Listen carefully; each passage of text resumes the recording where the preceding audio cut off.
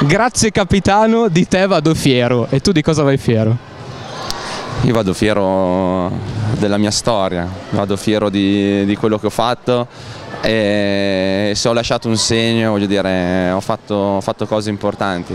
Sono tornato a Pavia, nella mia città, perché io sono fiero di Pavia, sono fiero dei ragazzi, so che questa, questa città qua vive di pallacanestro, ha bisogno di, di respirare ancora aria importante cestistica e quello che io ho fatto da giocatore, quello che farò anche fuori da, in altra veste eh, sarà finalizzato a questo. Quindi... Volevo chiedertelo dopo ma a questo punto te lo chiedo, qual è quest'altra veste? No, mi piacerebbe allenare, adesso io credo che ho finito un percorso tirato anche a lungo questo percorso qua perché c'erano delle motivazioni importanti tra cui mia figlia che ha un'età ancora ingenua per eh, entrare in campo con me a fine partita senza vergognarsi e fare il giro, questo mi, mi riempie il cuore e, e non volevo privarmene. Adesso piacerebbe allenare, piacerebbe mettere a disposizione la mia esperienza per...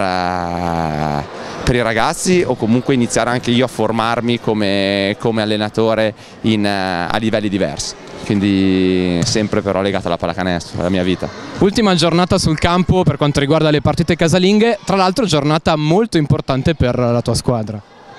Sì, sì, sì, probabilmente non tanti sapevano che questa partita qua era fondamentale per, per chiudere qua la stagione, per evitare un'ipotetica dire, classifica particolare che ti portava a fare i playout immeritati in una stagione come questa, quindi non era, non era una partita facile per me, ho cercato di godermela fino alla fine, sono stati bravi ragazzi pronti via a dare 20 punti a Montecatini e quindi tutta la partita è stata in discesa, avuto di, ho avuto modo di godermela ogni minuto senza l'ansia del risultato.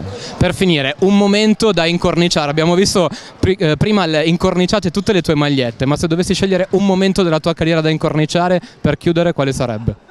Beh, io direi quello che ho vissuto in nazionale non l'ho vissuto in nessun club.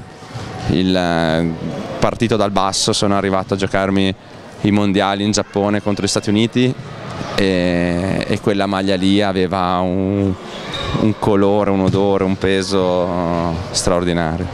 Lo immagino, grazie mille. Grazie a